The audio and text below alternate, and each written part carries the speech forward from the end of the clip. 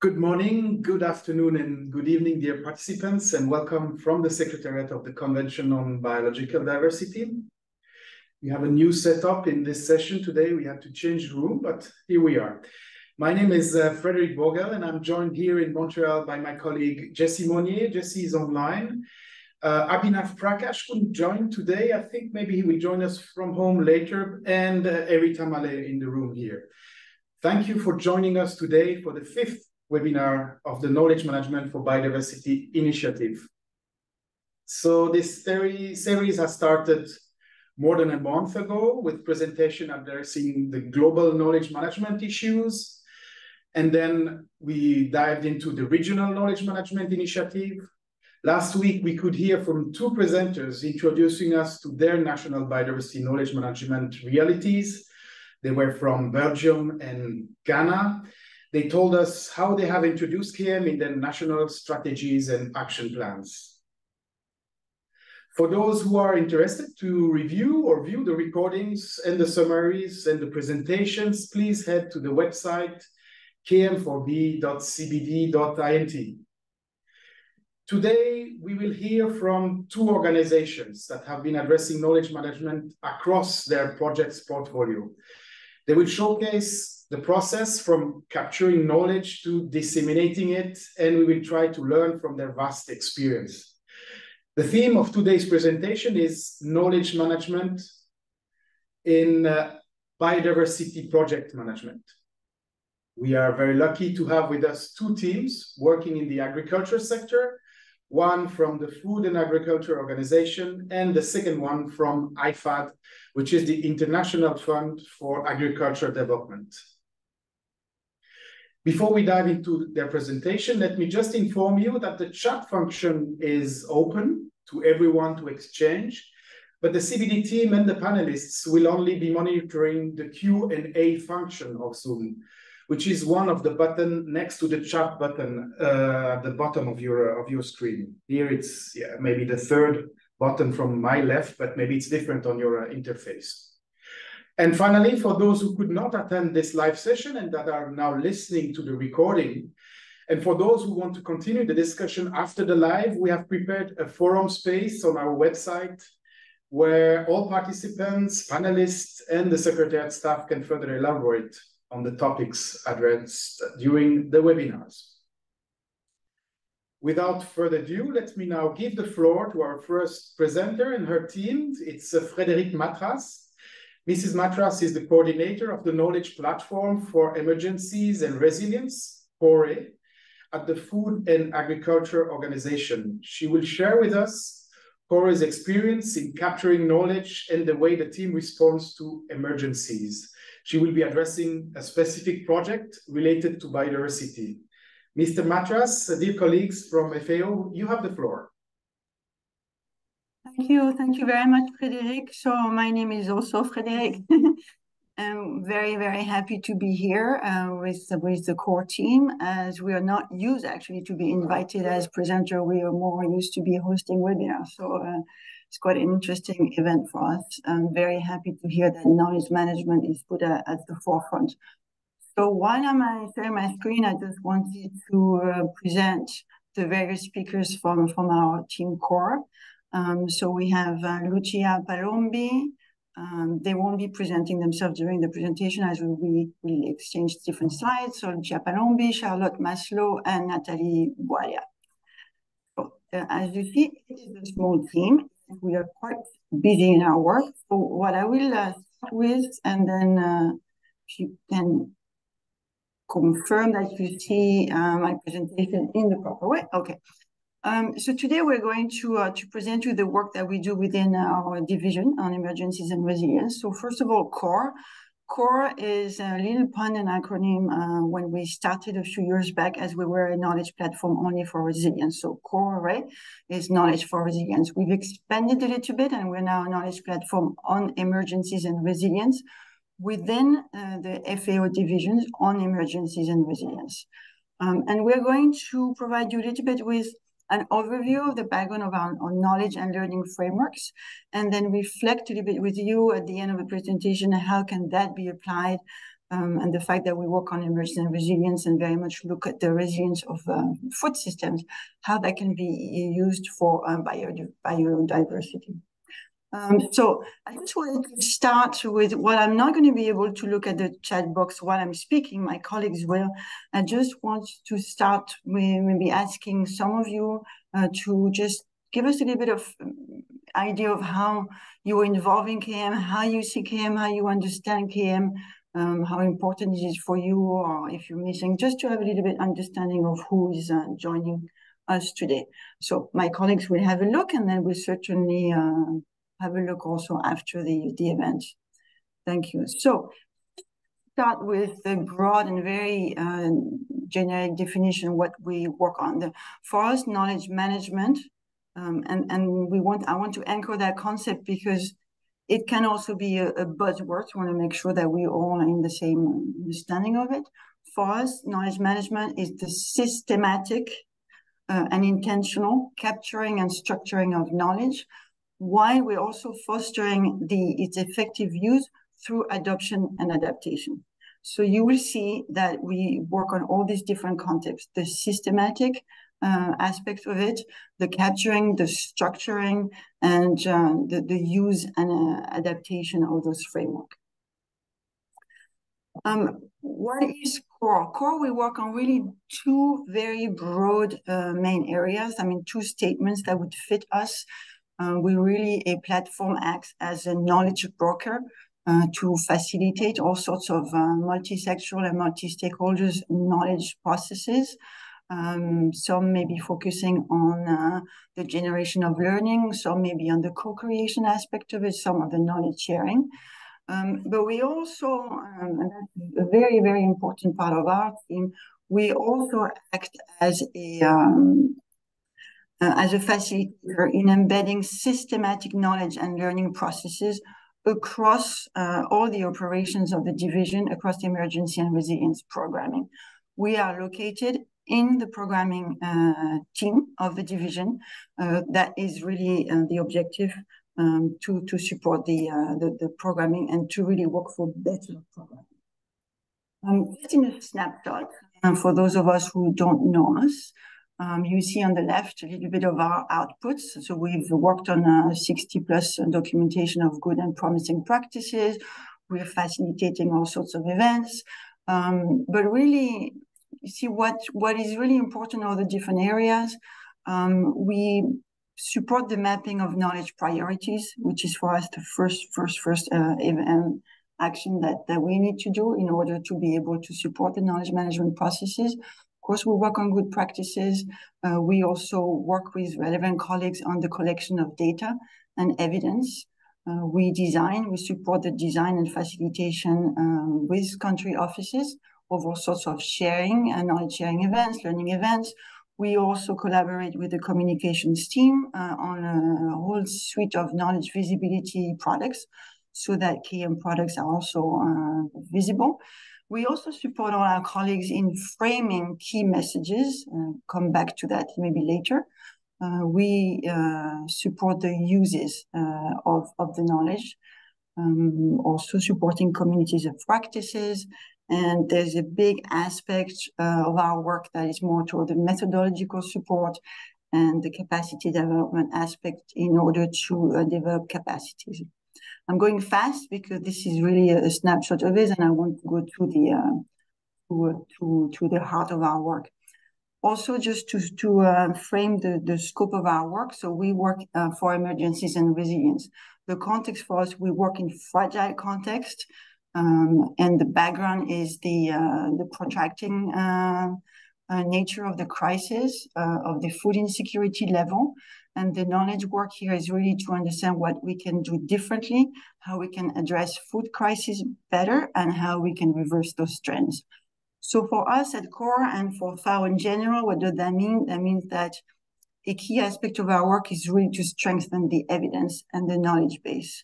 Um, it's not necessarily to expand the knowledge base as there the, the knowledge, there's a lot of knowledge, but really to systematize, to contextualize, to work on the evidence, um, and then continuously updating and enriching uh, all the, the knowledge.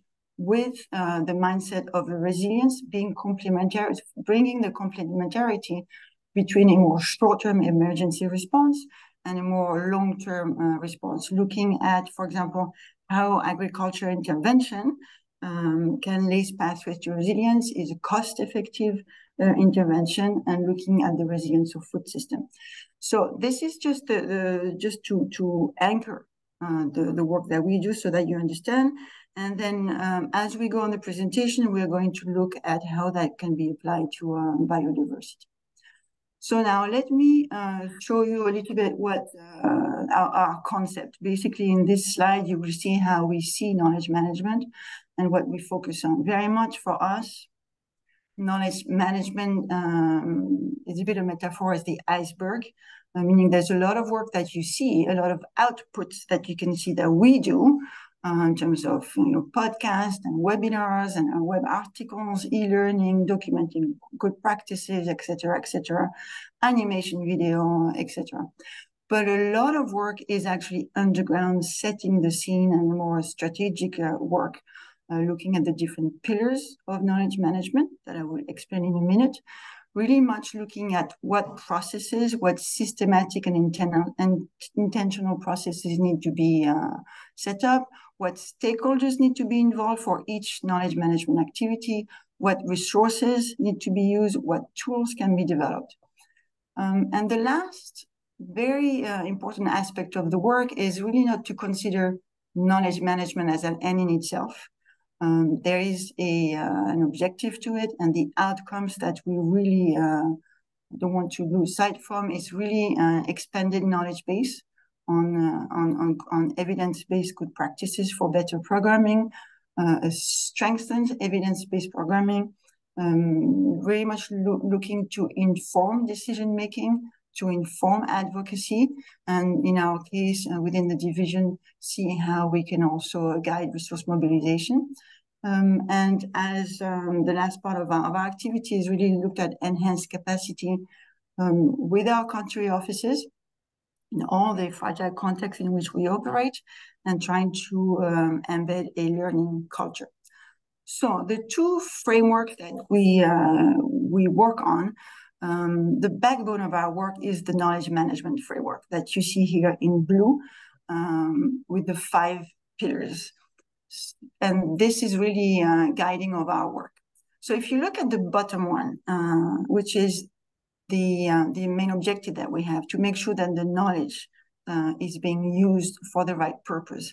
Now, for knowledge to be used, it has to be shared properly and I'm going backwards in my pillars. And for it, and there's a whole sort of activities that my colleagues will explain on that. In order for the knowledge to be shared properly, it needs to be captured also properly. And that's why we also develop guidance and tool and support uh, on that pillar. Going backwards, for the knowledge to be captured properly, you need to have the, the right generation of knowledge and learning. Here again, we're going to have guidance, uh, proper methodological support, and tools to do that. And in order for the knowledge to be generated, uh, last but not least, the first aspect that we look at is the identification and the framing of what we intend to frame, what we intend uh, to do at the time, what are the priorities. So within that backbone, this is really the knowledge management pillars of our work. Uh, we are working a lot on a uh, learning agenda framework, which is very similar. Um, and has uh, different steps that I will uh, explain a little bit in details. And we, have been involved in several countries in fragile contexts, for example, Nigeria, Afghanistan, and Somalia, trying to support the implementation of learning agenda, which follows a little bit the same concept of framing the learning, generating, documenting, and uh, working on adaptive management. So I went very fast because I want to uh, give the space for my colleagues to, uh, to give details on this. But the, the last slide that I would like to focus on is give you a little bit um, an idea of, of what we mean by learning agenda. What do we do? And this is our, our, our concept that we follow with, uh, with country offices um, implementing the learning agenda. So the, the first step that we do with them um, is trying to identify uh, their learning priorities, looking, so that's the step one, framing the learning looking at the particular intervention. Is it a project? Is it more programmatic intervention? Is it a country uh, plan? Is it a country strategy? Um, so really trying to frame the learning priorities to any other strategy in place. Um, trying to also make linkages with other strategies um, and try to also build a rationale and justification on those learning priorities. When this is uh, achieved and uh, accomplished, then we uh, look at what learning activities uh, can be uh, implemented, looking very much at the different resources um, and different sources of information, whether it's existing, whether there is a MEL framework, um, where whether uh, we work with M&E colleagues because there are a lot of existing information and data, a lot of evidence that exists. So we need to map out this against the learning priorities. And then we also look into planning generation of new learning activities, and those can be of many different forms. And then looking at the plan, the time frame, and the resources. So this is very crucial because very often we find there is a fragmentation of uh, information and evidence and sources of information. So this is important to try to put in one place all the relevant data and frame it frame the scope of those data in order to answer the learning priorities. Then once this is done, uh, then we develop the products. We make a plan in what type of product. Is it a learning product? Is it a good practices? Do we have enough evidence uh, in order uh, to address the learning priorities in the form of learning questions. Um, and the last step that you see in green that is very uh, um, innovative and, and difficult to implement is really follow up to make sure uh, that the learning that has been generated is actually used for the right purpose, whether it's internal within our country offices or whether it's external.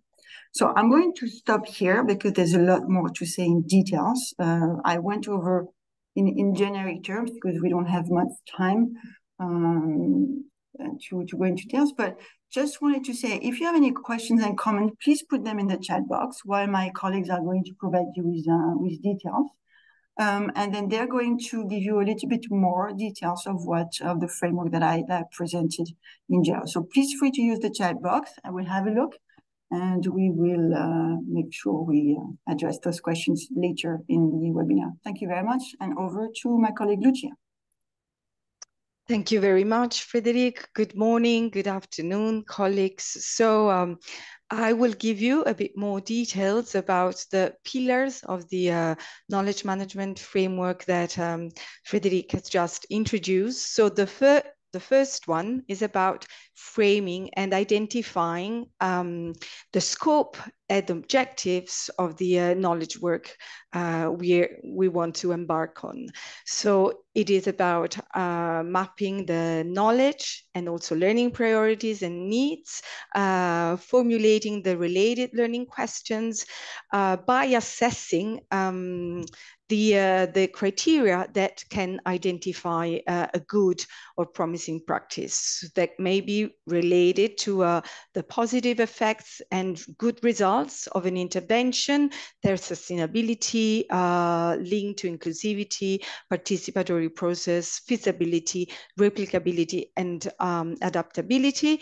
And as we are um, based in the Office of Emergencies and Resilience at FAO, the focus of our work is about uh, resilience and um, resilience related factors. So the questions to ask ourselves in this uh, particular pillar is what do I know and what do I want to know more about a specific um, intervention and practice. The tools that um, we can use uh, um, in this uh, um, step of the knowledge management framework can be a, a diagnosis matrix, uh, a thematic guide, um, facilitation technique in terms of, you know, how to better identify uh, a body of knowledge and um, a knowledge management plan, as well as the learning table, learning agenda table that uh, Frédérique has just presented.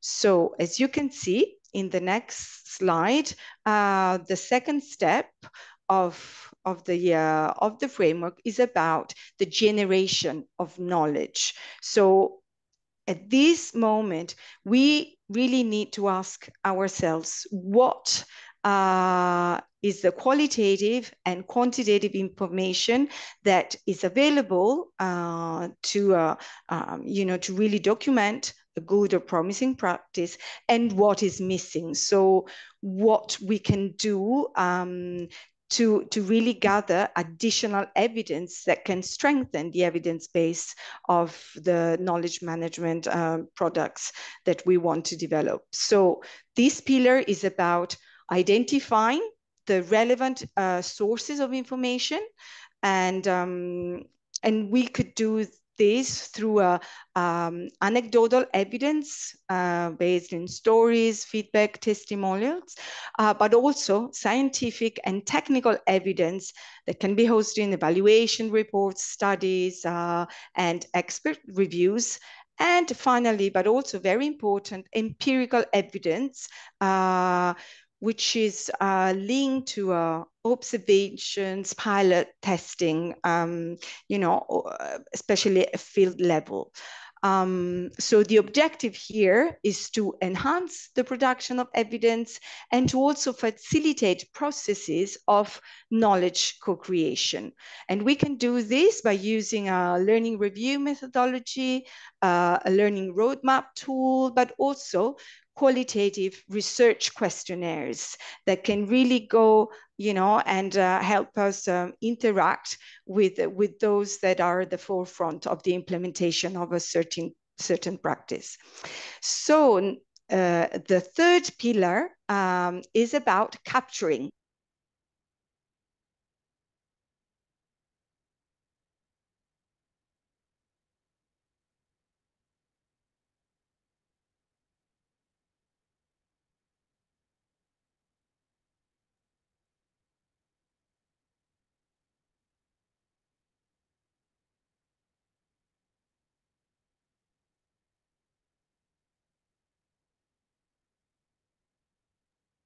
Did we lose my colleagues in, in HQ?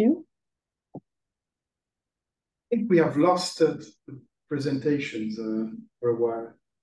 So it was. Yeah. I'm really sorry. I was uh, I was kicked out. Something wrong yeah, with my internet we, connection. All of us, all of us at, at far, I don't know in the room. Obviously, I so let me reshare my screen again. Where did you lose us? Which which period? That's when before pillar three. Okay, yeah. I was just about to move to pillar three. That, was I'm the really, you guys were listening. I'm really sorry. your fault. Yeah, we were disconnected far, obviously. Let me share again. Yeah, so, okay. So we were at the third pillar of the uh, knowledge management frame, framework, which is about capturing the knowledge that we have identified and um, uh, and also generated. So what I was saying is that at KORE, we, um, we have developed a template that we use to capture uh, good, promising, and emerging practices. Um, it's, it's a really uh, thorough and detailed template that can give the you know opportunity to explain uh, in details um, the uh, uh, methodological approach, geographic coverage, um, impact, lessons learned, and uh, all the elements also related to the re replicability and upscaling um, uh, of a certain uh, practice. We um, this can really help us um, identify what best captures and promotes uh, experiences and learning. And um, to do this, as I said, we have developed a generic good practice template, but we also have specific good practice templates that can really help us uh, go into more detail in um, assessing and documenting uh, interventions that are related to, for example, anticipatory action, social protection and resilience, um, and all the aspects that may be related to uh, uh emergency and and resilience work in the agri-food system. Um, we have also developed um, uh, questionnaires that can help us um, um, collect qualitative data, and this can lead us in the development of a suite of knowledge and learning pro products. I will stop it here to pass the floor to uh, uh, my colleague Natalie. Uh, over to you, Natalie. Thanks so much, Lucia. So uh, the pillars identification, generation, and capture, though fundamental, would be incomplete and in some cases almost futile if lessons learned and evidence collected are not disseminated. Um, right? so especially disseminated to the right person and in a timely manner. So we we know that um, information isn't very useful when it's received late. So um, although it can be challenging, it is very, it needs to be made available, readily available. Hence the importance of the pillar, the fourth pillar, which is dissemination. So dissemination or sharing uh, mainly focuses on making available to our audiences the knowledge gained and the important messages around thematic topics related to areas of work or interest within the framework of emergencies and resilience, of course. And at KORE, we try, we, we try to use a variety of channels to achieve this. Um, the, primary, the primary one being the knowledge platform for emergencies and resilience, also simply known as KORE, of course, which I will copy and paste in the chat right now. So there you have it. And if you browse through, you find a wealth, a wealth of resources ranging from good practices and briefs and news on upcoming events, workshop videos, including animations, photo galleries, and links to our e-learning series and so on. Uh, we have also we also have a thematic series page where we post recordings of webinars and other virtual conversations, which we have either coordinated or supported. And we also make sure to include related links of the resources that um, are useful or interesting. So in addition to the platform, whenever necessary, we also leverage social media platforms such as Twitter, also known as X now, for spreading word or promoting events, um, or our events or products that we we have. And um, now, since we, we don't have an account on X we collaborate with comms and, our, and outreach teams in order to get our content uh, on these platforms. So that said, dissemination really involves a lot of communication and collaboration with different teams within FAO and also with external KM partners for cross pollination to happen. And Frédérique touched on this import, the importance of these these collaborations earlier. So we have we so we have colleagues circulate our products within their networks, and we do the same. And so that is why you you will find on the platform more than just the products. You find also products from other KM partners. That said, an important question to ask or consider early in this phase of dissemination is who really is my audience and how can how best can I reach them within the constraints of the capacities and resources available, and what tools do I have at my disposal. And some of the tools that we take advantage of at KORE currently are newsletters, um, digests, which are simply snapshots or highlights of our good and promising practices and learning briefs, for instance, um, webinars and so on. So that is the, the foundation of this mainly focusing on um, showcasing knowledge and key messages and sharing knowledge via these different platforms and channels. And, and that's it for me. Thank you. And I'll take over as the last member of KORE team to finish this presentation and I'll try and be quick uh, to leave sufficient time also for if the colleagues and, and for question and answers.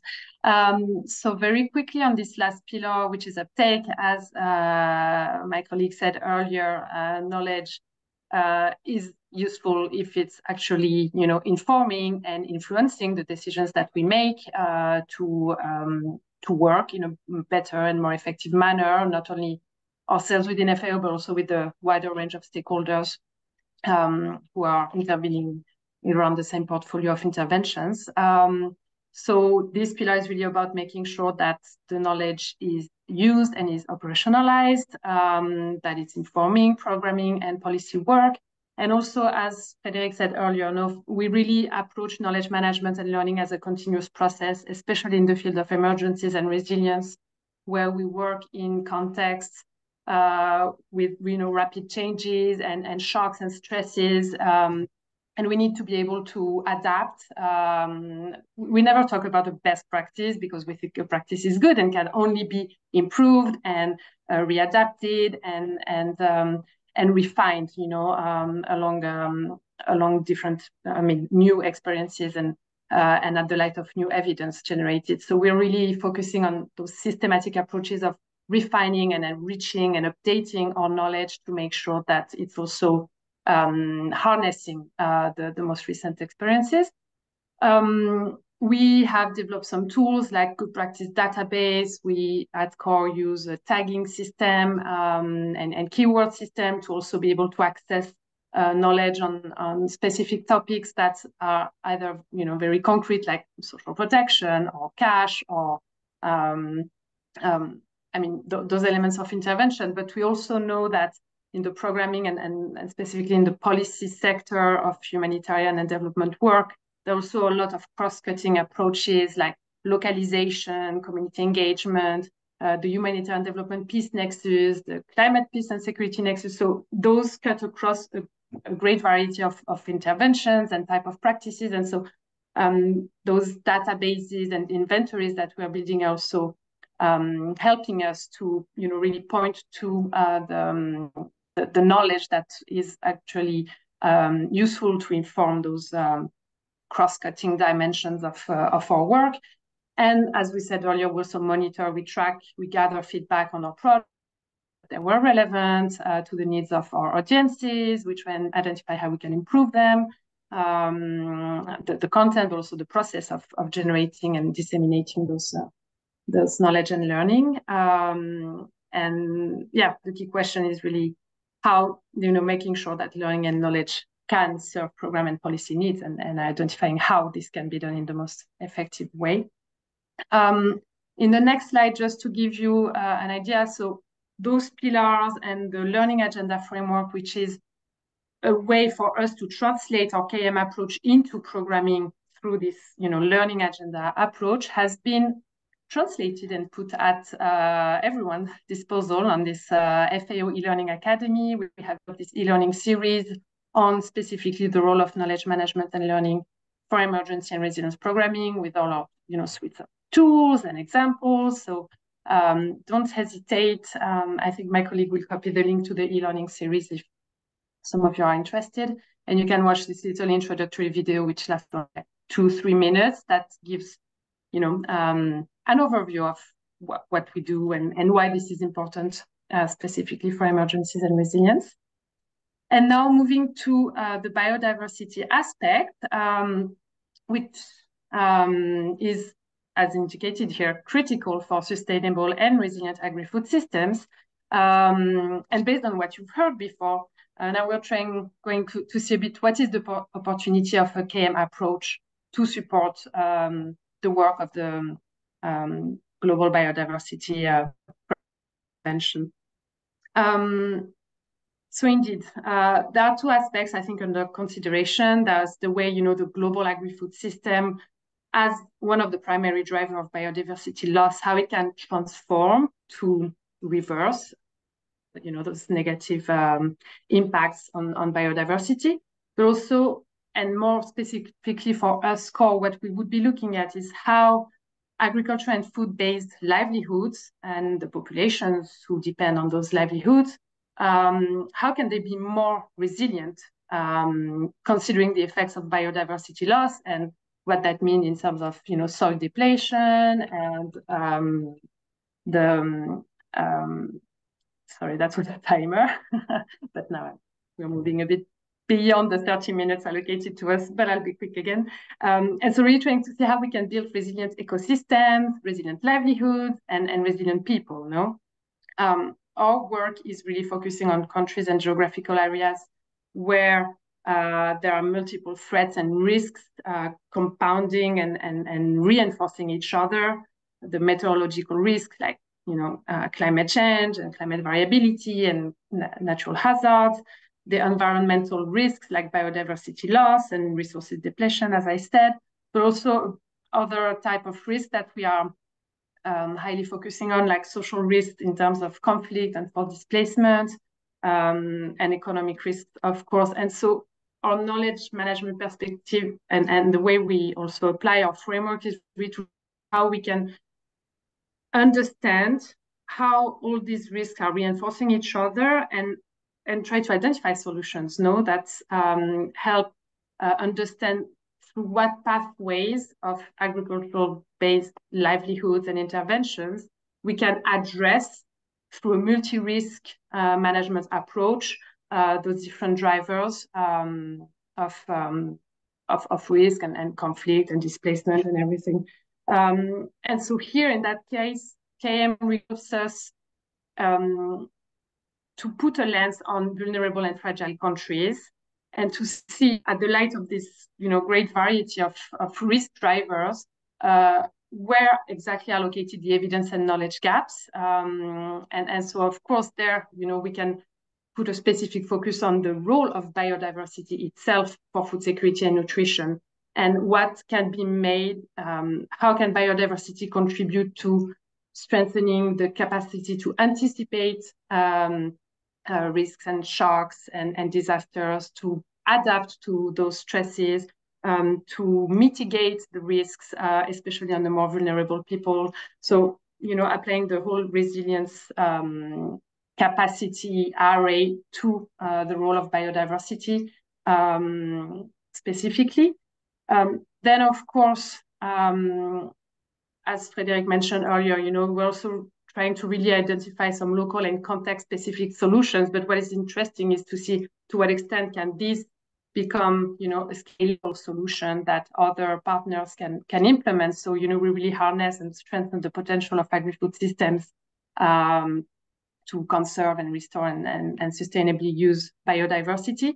Um, the transfer of knowledge is, of course, I think something really important. Um, I'm not familiar with like the broad range of actors who are part of the, you know, the convention, uh, but I'm sure you have, you know, from local and national governmental stakeholders, community-based uh, organizations and associations of uh, producers and seeds multipliers and uh, you know um, academia and everything. And so it's really about this cross fertilization and making sure that there's a way to bring all this great variety of knowledge and expertise together to identify and, and co-create the solutions um, that uh, the biodiversity area of work um, can, can implement and really make that in a participatory and inclusive manner.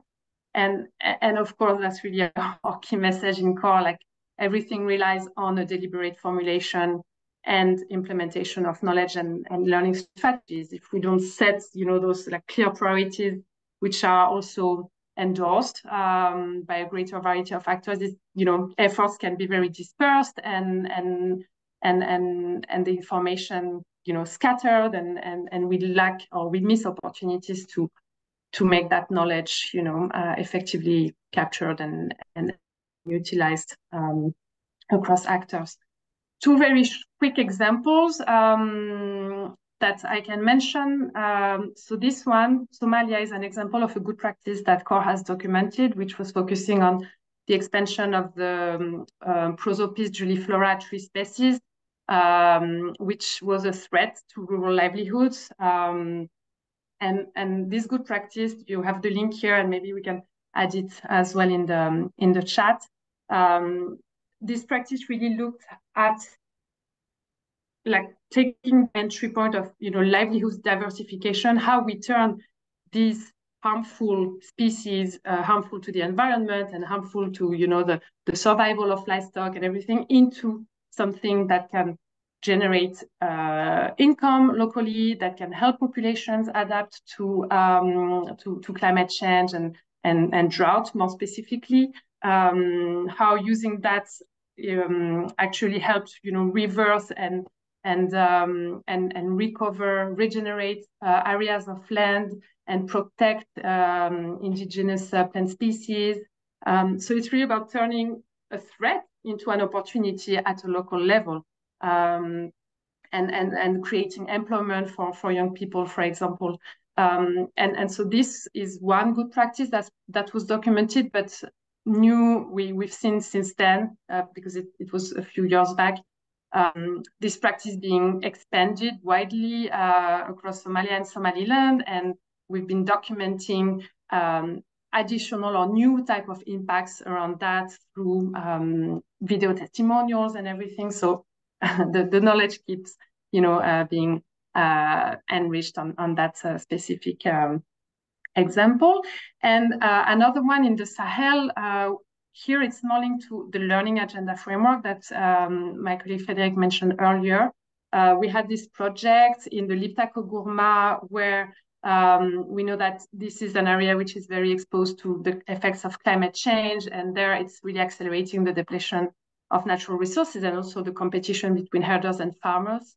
Um, and, and so we had a specific learning question which tried to see how can empower young people and women and strengthen the resilience of vulnerable agropastoral populations. And one of the building block of that project was focusing on the restoration of degraded lands, through community mobilization, through cash for work activities, looking at how we can have a positive impact on the environment, but also on the local economy, um, on creating um, or increasing the opportunity cost of, you know, for young people specifically to not, I mean, to involve in, in violence, to offering uh, new uh, income uh, and new, you know, livelihoods prospects um, and opportunities for young people um, who you know otherwise would not be able to make a living from from farming activity from sorry farming activities because the land is uh, um, um, was um, the, the, soil was really um, damaged in those areas.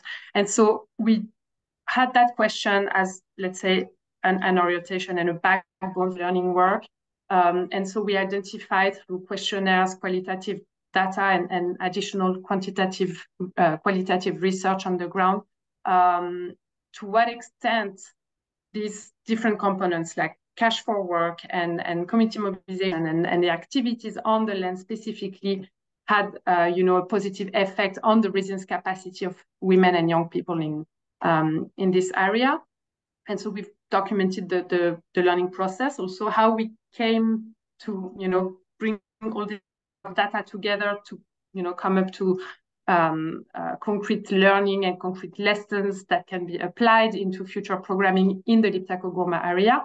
Um, and and and of course there are always uh, things that can be better documented. There are always some you know specific data gaps um, that can be identified, and so the, the the FAO and other actors like being present in this area for since a long time and, and, and for again the years to come, you know, can contribute to um, to document further the impact on, on the environment and on the, the societies in, in this area.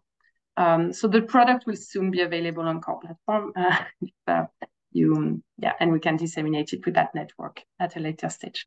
Thank you. Uh, sorry, that was fast, but I hope understandable. Thank you very much for uh, for this uh, presentation, uh, Frédérique and team in in FAO.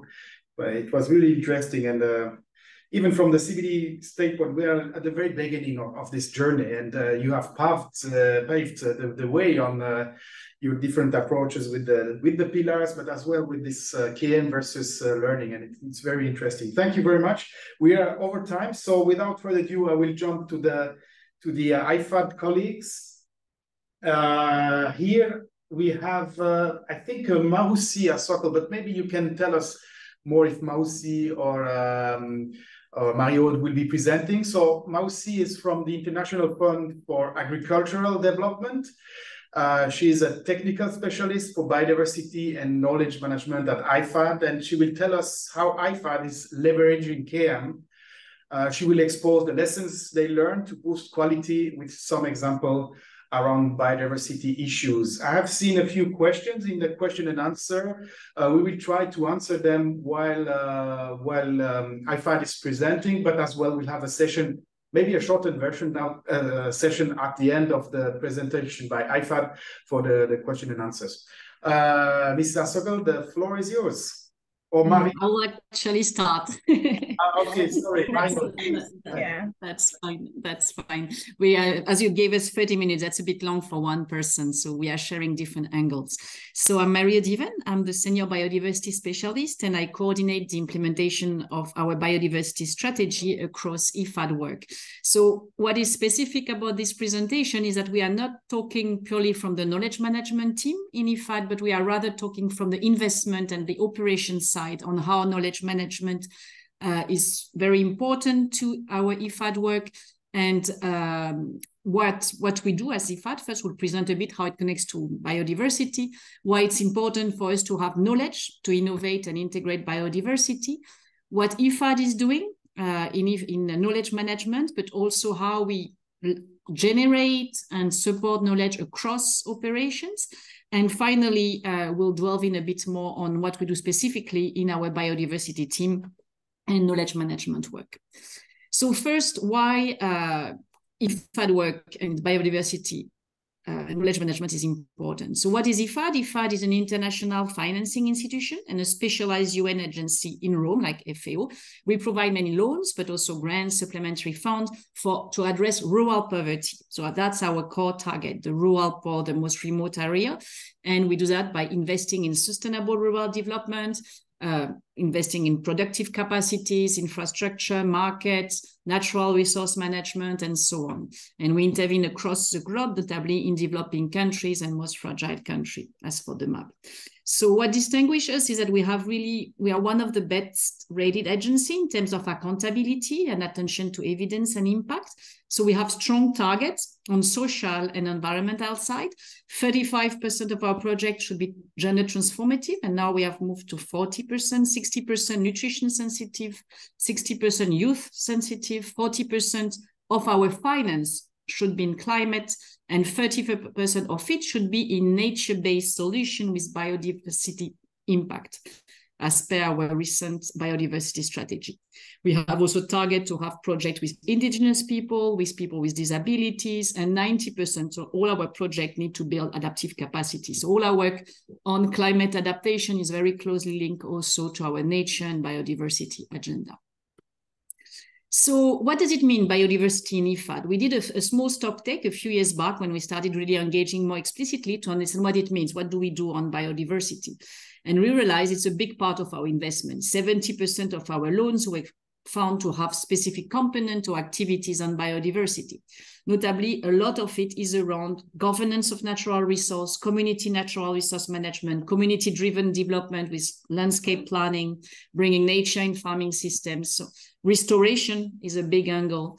Also, of course, a lot of our agricultural work and production work is on agroecology, which is, as you know, target 10 of our global biodiversity framework.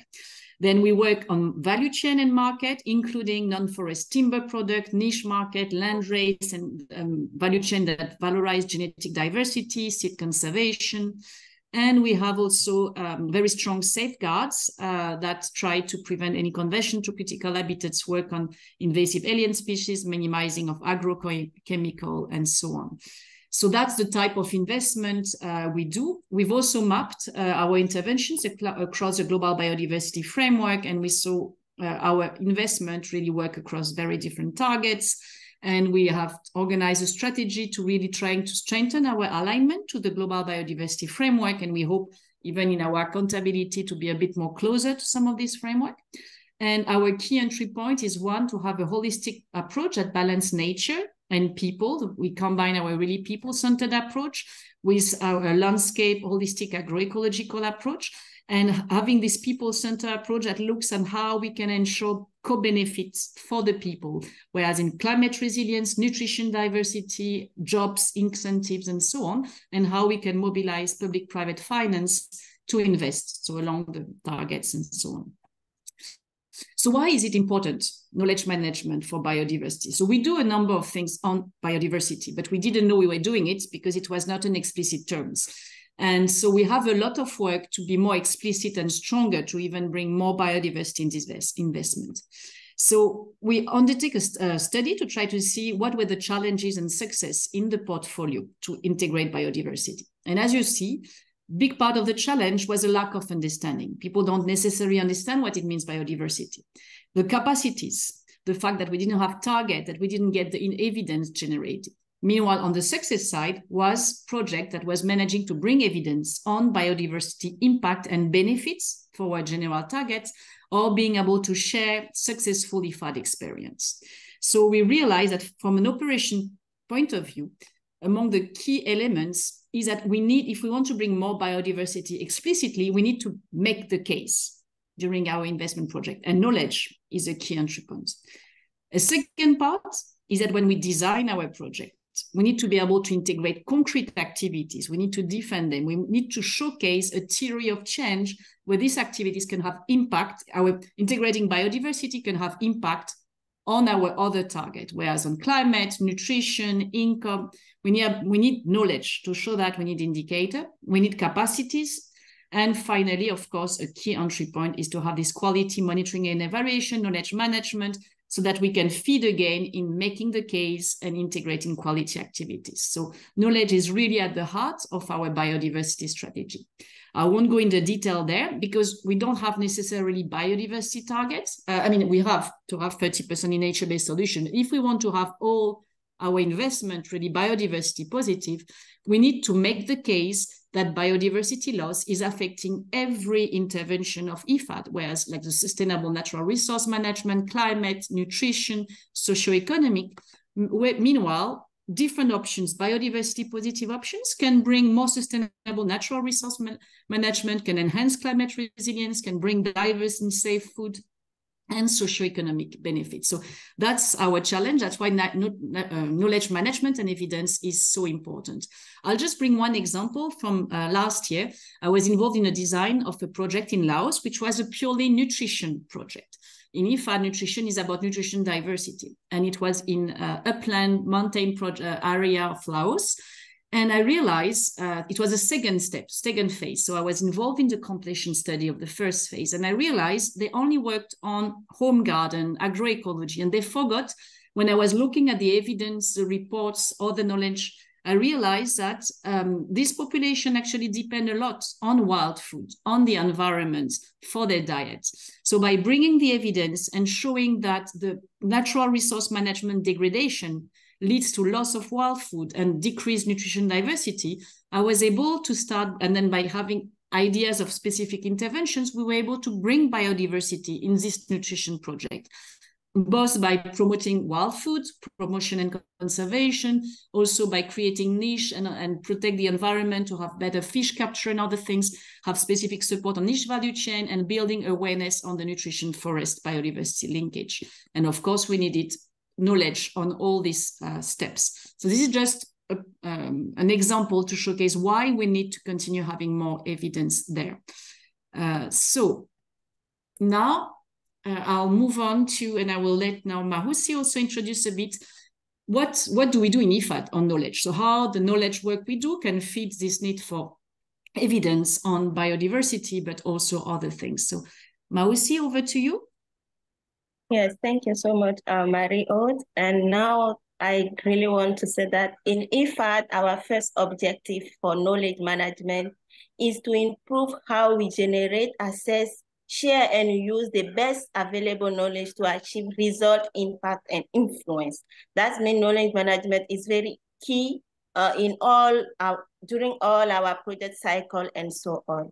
And then we have uh, three key steps or strategy to integrate knowledge management in our work. First of all is to leverage internal and external knowledge to deliver high quality evidence-based solution.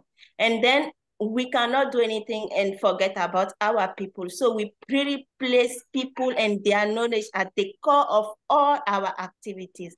And why do we do that? What is the uh, theory of change we are following is to really articulate how action address the underlying constraint and how they are expected to achieve IFAD impact.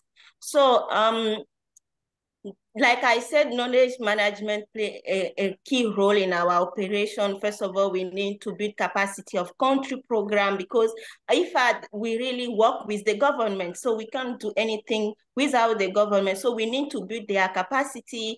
And also knowledge is a key entry point to country policy level and, and engagement. We also contribute to the, uh, knowledge also contribute to the scaling up also uh, in the South-South Triangular cooperative agenda. And also we so knowledge support global engagement and resource mobilization. Knowledge also uh, finally play a key role in improving internal processes and system. And all this role of knowledge management contribute highly to IFAD impact, uh, IFAD operation impact. Uh, next slide, please. Yes, this slide is just to show how uh, knowledge uh, we integrate knowledge in our, our work and also how we generate knowledge from each of our activities. And you can see uh, where there is the knowledge capitalization and lesson learned. We need knowledge, as Marie-Aude would say, we need no, knowledge at project design stage, as uh, at a country uh, strategy and, and uh, operation plans uh, uh, uh, Uh, uh, uh, designing, we need knowledge at project implementation, even during project supervision, we need to generate a knowledge on that and not only capitalize knowledge, but also we need to share knowledge, knowledge from the project and so on. the best practices, the lesson learned from the project, all those things need to be shared and that they can then um, build on those knowledge generated by the project. Uh, next slide, I think you will see key of our platform on which we usually uh, promote or share our knowledge. We have uh, our site for publication, our site for operational tools, our site for briefing, like we classify, we have each site for each types of knowledge so that this also help our users and our audience to quickly get uh, the type of knowledge they really want. Thanks. I think over to you, Mary. Yeah, and the last two, I just wanted to highlight and link to the SSTC that we have also a Rural solutions portal with some best practice and element we can share from the project. So now just, so this is an overall knowledge management strategy. So how does it link to project cycles. So I won't go into detail of this slide because Mahoussi already presented it. Knowledge is important across all steps of a project. From the design, as we know, we need evidence to develop them. We need to build on local knowledge. We need to have already a knowledge management approach in the project with budget and personnel and a theory of change. And during implementation, um, they are we have monitoring, evaluation, and knowledge officer for each of the project. And when we supervise, we have to see the quality of monitoring, evaluation, and knowledge but also we play a role of, as technical officer to document lessons learned, project uh, produce knowledge together with our knowledge management colleagues. And of course, we have a role in terms of technical assistance to ensure we can build and share lessons from other projects to support our project unit. And at completion, of course, that's where we have a lot of attention to document final lessons learned, extract the data, the mission, evaluate results, and we have some sample of independent evaluation and impact assessment that are done. So this is why it's uh, really inbuilt in our project cycle.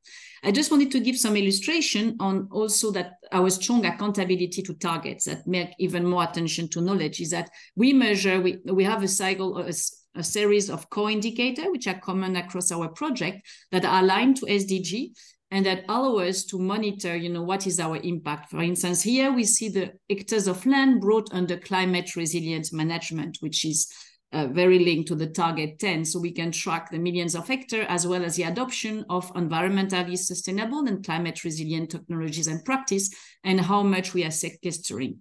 Now we have a new biodiversity indicator year, so we'll be able also to track how we influence biodiversity. And here I just wanted to share because I feel it's quite useful to know. So how we track systematically, we have a platform in IFAD where all of our project, that's an internal one, but each time we review a project, we implement a project, we have to look at the different indicators and see how the project performs. And that include environmental one. So each time systematically for all project, we need to see how we are do doing with climate change, environmental natural resource management, our safeguards, but also we have to check how the quality of the knowledge management, the M&E system, and the target group engagement systematically. And then we have portfolio review every year. So we have to recheck uh, how our project are doing and our management is accountable. So they hold us accountable as well. And now I'll move over to uh, Mahoussi to another very interesting feature, which is the lessons learned that we document in each project mission and so on. Over to you, Mahoussi. Thank you. Um, here we are going to see how IFAD is promoting and systematizing the lesson learned. And then um, on the same platform where we use, we put our uh, indicators on project and, and yes, indicators and so on. We also have a section for lesson learned. And as you can see, we have more than 1,800 lesson learned across our project on different thematic and so on. And uh, this lesson learned are from pro this lesson learned, they usually use it for project formulation. When they are designing the uh, project, you can easily go to this platform and search for key lesson learned from the past uh, project and then see how you can make use of it for this, uh, the current project you are designing.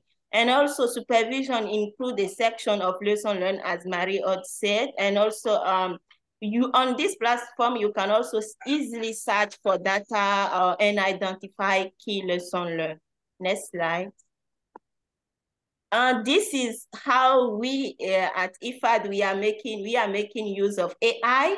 And we realize that on the, the, the other platform, it can be quite challenging to search for a lesson learned and easily get uh, the lesson learned you want. And then we make use of the Omni Data platform and also AI, where we try to cap um, categorize each lesson learned per thematic, per country, and then it make is it make um the work very easy easy to to search. If you want any lesson learned from any country, you just need to uh, click on the country. Even if you want to have the overview of the lesson learned, in the from IFAD project, you can easily get it with this uh, innovative platform, use and integrate AI on it. Yeah, next slide.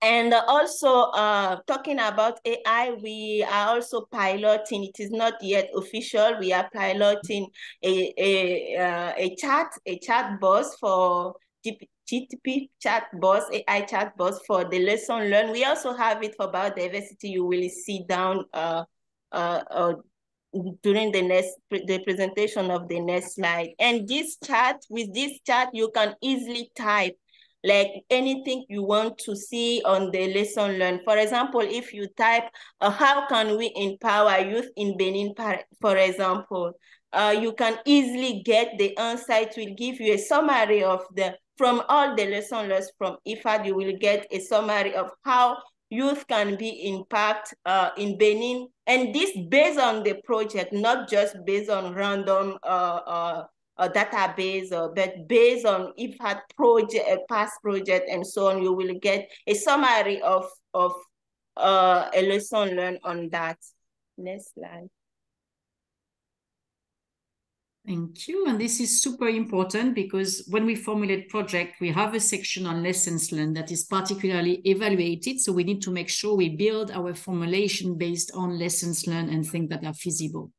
So now we'll move to how we translate, how we leverage, use, and what tools we've developed as part of our biodiversity strategy and biodiversity team on knowledge management. So here is just the overview of our knowledge management, our biodiversity strategy which goal is to protect, restore, promote biodiversity and its sustainable use in rural systems for people and nature. And we have four main kind of action, which is one, a big part is, of course, bringing biodiversity in operations. But to do that, it recognizes the importance of learning, knowledge, innovations, and partnership. So, uh, and then we have a number of elements in operations which deals with safeguards, tracking, indicators, and so on. Now I'll move over to Mahoussi to go a bit more in details as she's the one managing uh, our knowledge management work in the team. Over to you, Mahoussi.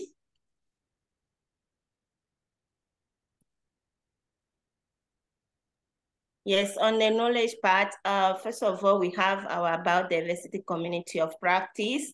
We have uh, our biodiversity knowledge uh, repository, also built on AI and so on. And also we have uh, uh, on innovation side, we are trying to link, show how biodiversity is also linked to uh, nutrition and, and well-being, uh, we have, like Marie-Aude said before, we have our value chain and biodiversity aspect as well. And we always trying to bring uh, how there is always need to involve the indigenous people, uh, the women, and also not forget about the youth uh, uh, people in, in engage them in the biodiversity conservation and sustainable use. And for partnership, we are actually partnering with FAO and ICRAF to uh, develop or to assess our about to have our agroforestry stock take, uh, which will be available uh, uh quite soon. Um, next slide.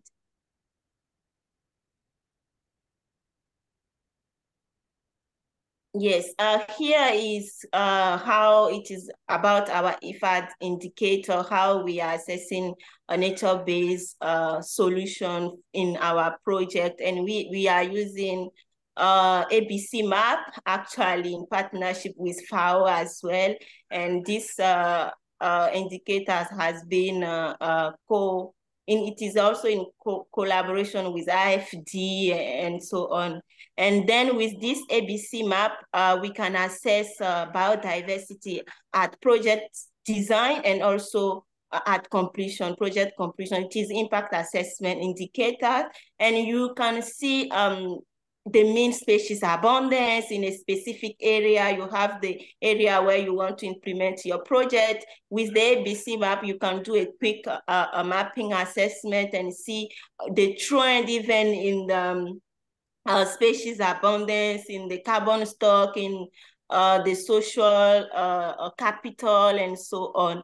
And uh, yeah, here is some example of, of, of the map or you can also see key biodiversity areas if there are some protected area in the location you are going to implement your project so that you can have uh, think of the, some delimitation, how you will also have some sustainable planning, how you will not like affect or in, in negatively impact on those protected or key biodiversity areas.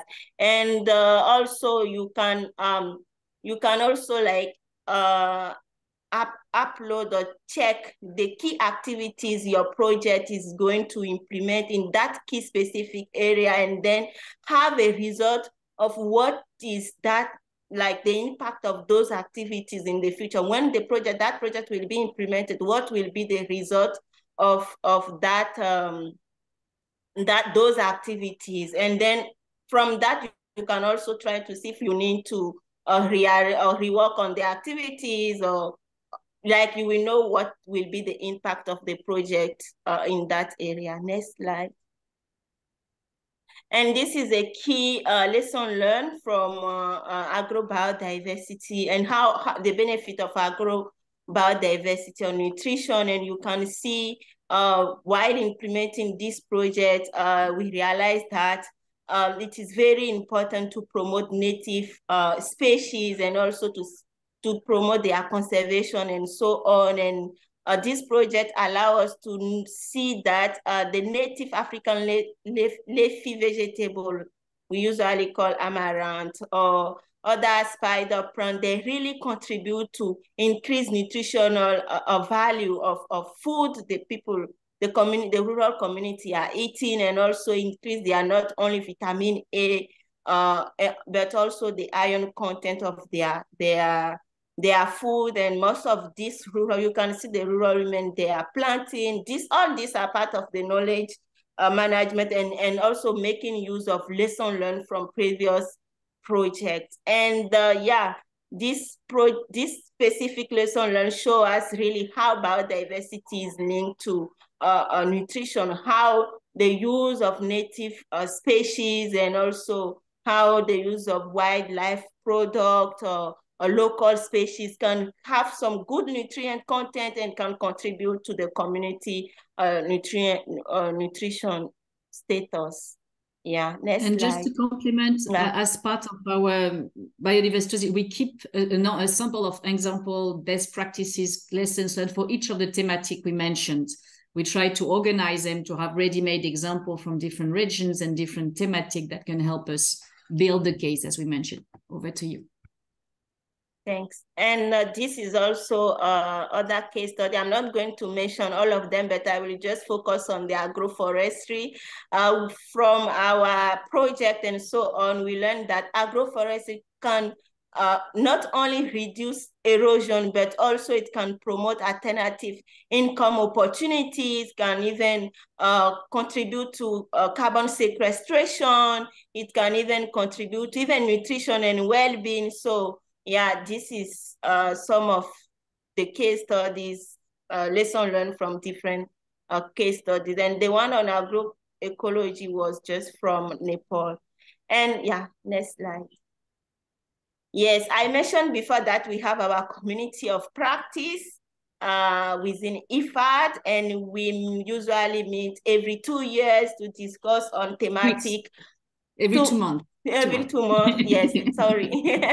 we meet every two months to discuss on key thematics around biodiversity and also how to improve our own knowledge within IFAD and how we can also integrate or mainstreaming more biodiversity into our operation and, and activities. And um, when after uh, establishing the you know, community of practice, we saw that to also contribute to the implementation of, of our biodiversity strategy, there is a need to um, design or have a biodiversity knowledge platform on which we can have all our um, our info document, not only from IFAD, but also from FAO, from ICRAF, from WWF, from a private sector, so that when colleagues want to learn something, like want to learn about biodiversity and carbon credit, biodiversity and climate, they can easily go to this platform and, and learn from it. And we also have our uh, interactive repository. Next slide, I think we have more details on those. In, yes. So I have already talked about this. Yes, this is the biodiversity uh, uh, knowledge platform. I can share the link later on uh, in the chat so that it is accessible to everyone. And now once we uh, design the platform, we find out that it has been like very challenging also to quickly search for uh, information and download documents. So we try to collaborate with our ICT colleagues, and then we try to use also the AI to um, link this biodiversity repository with our biodiversity knowledge platform. And with this repository, you can, even if you take a document from FAO, for example, on uh, biodiversity and uh, livestock management. You can, from this uh, repository, you can get a quick summary from that document. And if you want anything on biodiversity and livestock, you can really get that summary. What did this document say about biodiversity and livestock? And you get the summary and read it. And if you are interested now to download or go and read that document, you will read it. So we found that uh, summary thing like you can see here on the on the slide.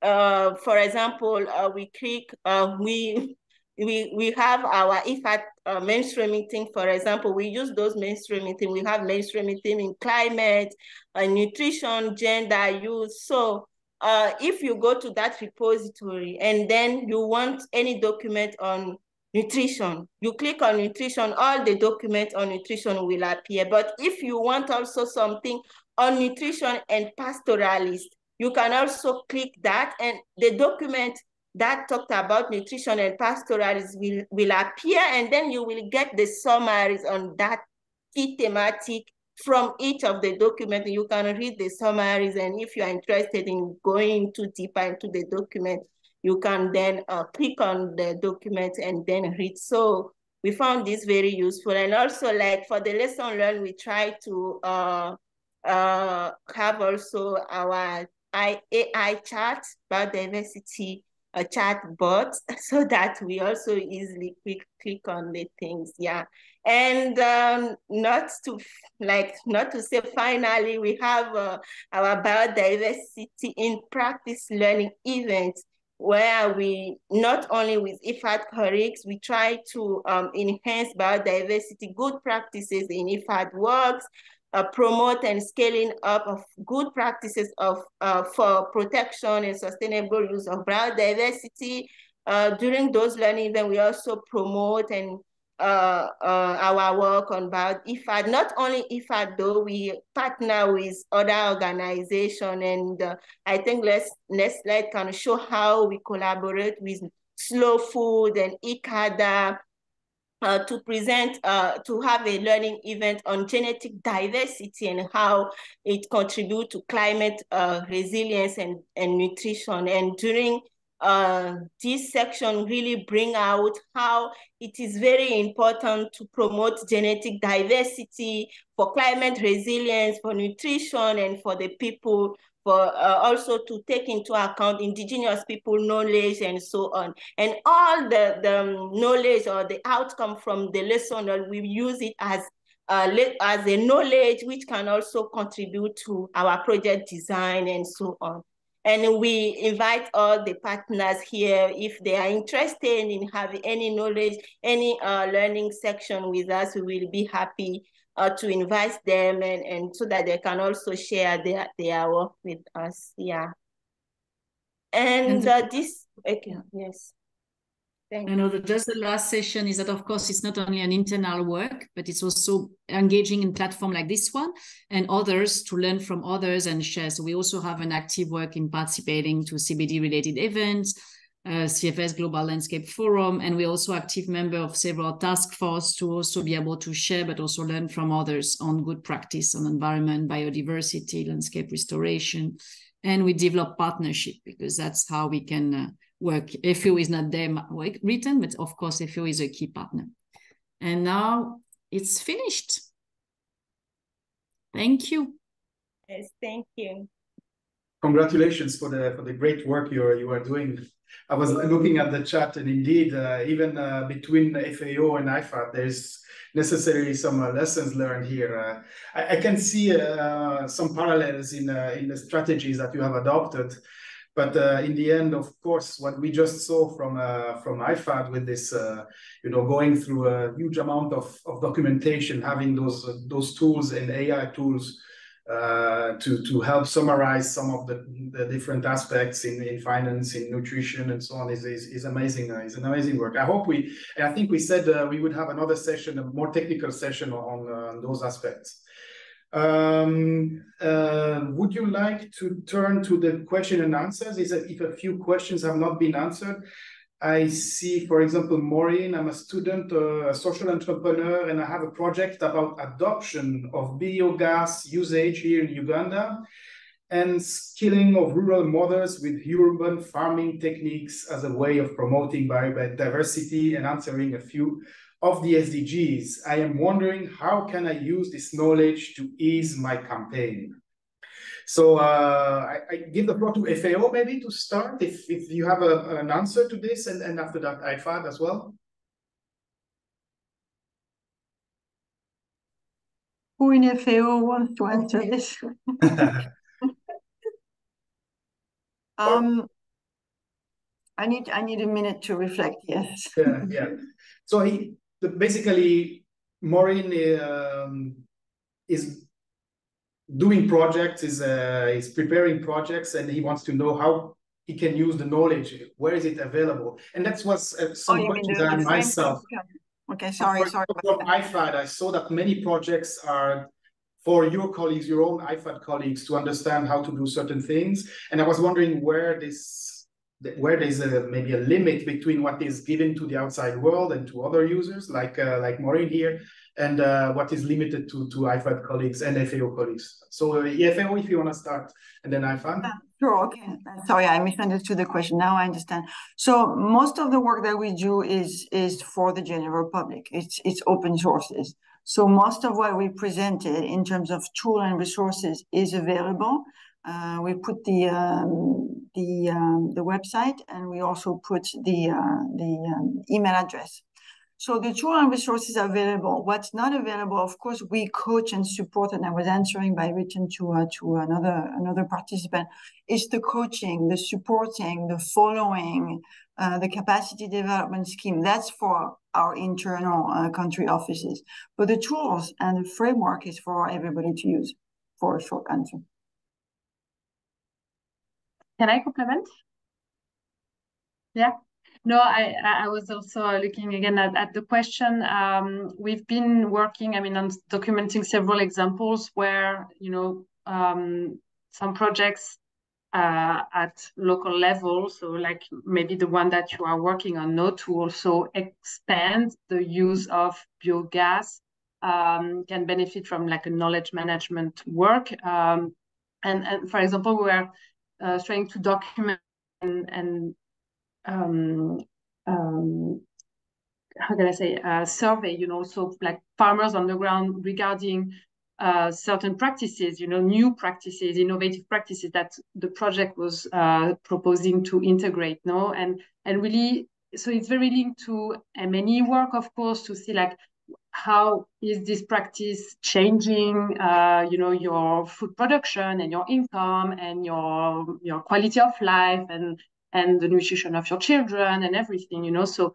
uh, documenting and and and uh, collecting a lot of data uh, quantitative data on that regard but also qualitative data on the perception what is easy in the application of that practice what is more difficult, what could be done better in terms of, I don't know, support that can be provided, like training and everything. So um, having this communication uh, channel with the users of the practice that you are promoting and, and identifying with them, like really in a, a hand in hand, how can we make that practice more accessible to others? Uh, how can, I don't know, government technical bodies come in and, and support that practice also at a, at a greater scale um, is really critical. And that's really based on, on their those people's experience and the knowledge that they acquire as they apply the practice that you're promoting. And so, you know, making all those testimonies, uh, all those feedback is a very, you know, valuable source of knowledge to others and can help um, you know make this uh, practice adopted by a greater range of um, of, stakeholders and um, and so in that sense you know it's really I think about collecting the data collecting the information making those testimonials uh, available in a variety of formats through podcasts through um, stories and, and good practices and um, and, and, and then, you know, targeting different users who can support, as you mentioned, this campaign of uh, promoting a better practice on the ground. So, um, and yeah, that, I, I think that would be something I, I would recommend. From IFAD? Yeah, just as a, as a compliment, as, as Mauricio also compliments, is of course yeah evidence knowledge is very important but i think also networking uh, to be part of this network platforms uh, for instance, Mahoussi Assocle, she's our focal point for the Global Biodiversity Youth Network. I guess you're a youth person as you are a student and social entrepreneur. And I mean, the more you can interact with others at different level, the more they may um, they may adopt or not. So it's one developing user and sometimes social network, you know, Facebook campaign. We have different Facebook group, but I don't know how open they are to the public in IFAD. Um, but try to engage directly, produce YouTube video as well, because that's how you also generate interest first and try to get the data to convince, um, obviously. Uh, I don't know, Maus, if you want to share, you were just at one of the latest um, Francophone uh, meeting of the G Global Biodiversity Youth Network.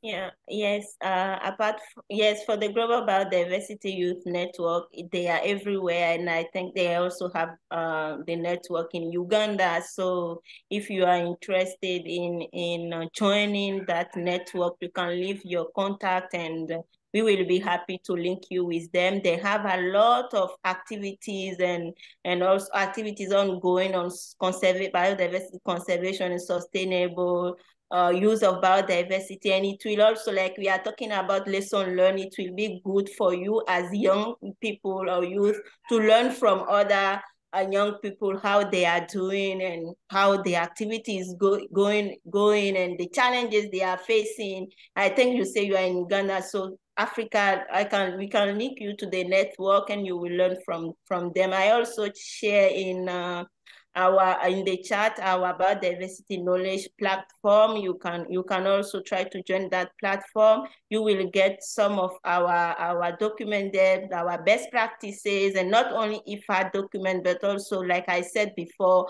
a knowledge product from FAO from IUCN from uh, WWF, from TNC, from all the other uh, uh, UN and private sector organizations. So yeah, thank you aware of time still. We have a few minutes left, and I see a question here from Pedro Flores. Uh, thank you and good presentation. I have some question. What is the CBA of interactive of an interactive repository? I don't know what CBA means, though. Somebody might have to help me here. How do you connect with? I think it's cost benefit analysis. Is that true? Ah, cost benefit analysis. Mm -hmm. uh, how do you connect with other repositories? Which is the scope and lessons learned of applying IA, chat for biodiversity KM. So that's for IFAD, I think. We, uh, yes, that's for us. Yeah. No, just to mention, so we are really in the piloting stage. That's why we just shared some elements. We are very lucky that our IT, we have an IT team, which is doing a lot of things on artificial intelligence across the house with some partnership with Microsoft and so on.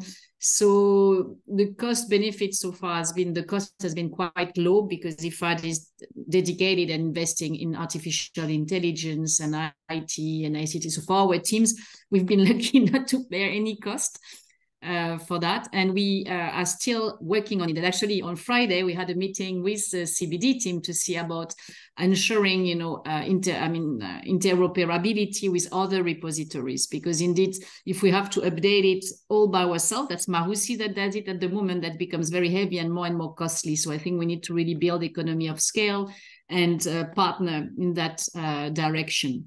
So that's uh, really an initial product. I think it's good to indeed check the cost benefit and get lessons and make sure we adapt it to the users.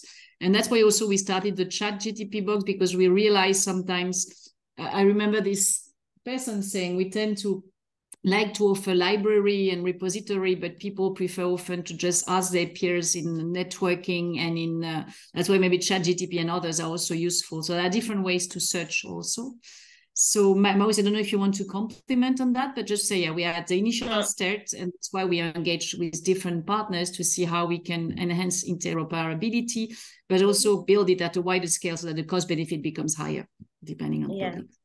Yes, I just I don't have anything to add just to say we are still at the pilot stage. And I saw, sorry, it is not related to that question. I saw so many people sending their uh, contact detail and I'm not sure if I will manage that. What I will do is to share the link of the Global Youth Biodiversity Network with you, their website. And on that website, they have the coordinator of each, the, the contact detail of coordinator of each country on that website so you can try to reach out to the coordinators and tell them about your interest in joining the network in your country. So I think by doing that, it will make the work easier for all of us. Thank you. And just to say, we don't have a share in the Global Biodiversity Youth Network. We discovered them at the, at the COP15 last year. We just feel it's, a, as you say, I think networking, your social engagement is also important alongside evidence building. I think we have to work on both sides very much. Uh, we have now reached the, the end of this uh, webinar. Uh, in the interest of time, I will stop it here. I must excuse Ari, who had to go to an urgent meetings. We are discussing here with a, a few uh, participants coming from all, all over the globe to discuss about the indicators and uh, to the global biodiversity framework. So that's why he had to, to move to this uh, to this other meeting. I'm sorry and uh, he, he he was we, we had a chat and we are very interested to know more and we will have another bilateral uh, discussion i think with both of you on how we were able to to to make your managers and management understand the importance of, of KM. But that's an, an entire other uh, project here. But that we might be able to address in, in another uh, webinar. So thank you very much to all presenters. In the next webinar on the 10th of October, we have uh, we will address knowledge management for conservation and restoration success. We have two presentations coming up, uh, one from South Africa and the other one from the Global Environment Facility, which is the IFAD, but for biodiversity. Uh, this will be the six webinars in the series, and we'll then have a break for a week because there is this uh, SBSTTA meeting that we are running, and uh, yeah, and having a break will will uh, will be good as well for us who have participated uh, in uh, those many webinars. Dear participant, this ends today's webinar. The conversation can continue on the km.cbd.int website. We thank you all for your questions, and I will share for those uh, to the panelists, I will share the webinar chat where all those numbers and maybe emails are shared so that you can uh, maybe use it. Otherwise, use the link that Mahoussi has uh, has sent uh, here. So thank you for participating actively, and we wish you all a nice week. See you next week then. Bye-bye. Bye. Bye-bye. Thank you so much. Thank you. Bye.